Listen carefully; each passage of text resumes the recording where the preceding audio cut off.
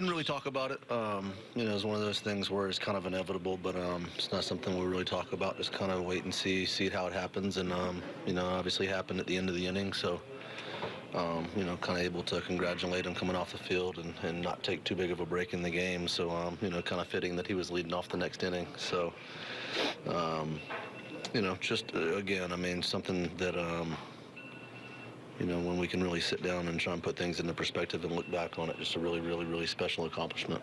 It seemed like everybody in the ballpark, when he would get two strikes on somebody, was getting on their edge of their seat. Was was that what it was like for you guys out there too, or?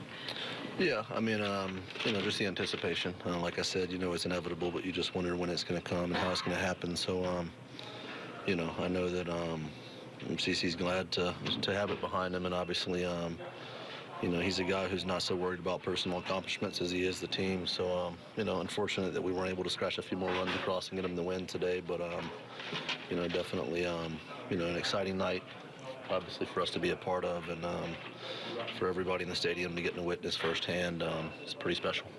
Brett, did you say anything in particular to him after? Uh, not nothing, nothing out of the ordinary. I mean, just just told him congratulations and that I was, uh, you know, happy for him and that I loved him and um, nothing I haven't told him before. So, um, you know, again, just uh, super happy for him to go ahead and get it out of the way. Obviously, all his family was here to get to witness it, and um, you know, I know, um, you know, this is a moment that I'll never forget. Aaron Boone said he's a no-brainer Hall of Famer. Do you agree? Yeah, no doubt. I mean, uh, the things that he's accomplished across this game, I don't think that I don't think that those are gonna, um, you know, we're not gonna see that um, very often anymore. So, just um, you know, not just what he's accomplished on the field, but what he's accomplished in the communities, whether it be in New York or where he's back back back home in Vallejo, um, in the Bay Area. Um, you know, he's he's a larger than life figure, and um, he's done a lot for the game.